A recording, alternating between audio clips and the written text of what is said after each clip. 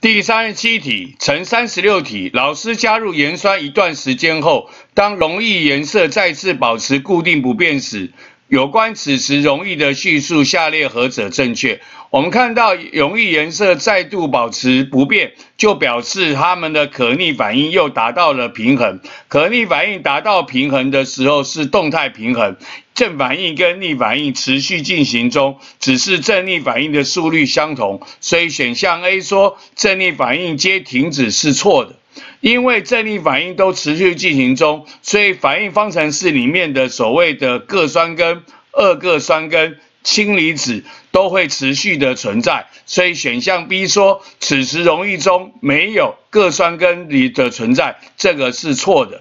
当可逆反应达到平衡的时候，他们彼此之间的确会有某种关系。这个关系国中没有教，但是绝对不是均衡系数上面所显示的关系。所以选项 C 说铬酸根跟二铬酸根的比例呢，浓度比是二比一，这个叙述呢也是错的。而可逆反应达到平衡的时候，是正反应速率等于逆反应速率，是一种动态的平衡，而外观上看不出改变，东西的浓度呢也没有在改变，所以选项猪说此时铬酸根的浓度。二铬酸的浓度不再改变是对的，因此第三十七题问我们有关于此时溶液的叙述，下列何者正确？我们答案选的是猪，此时铬酸根浓度、二铬酸根浓度不再改变。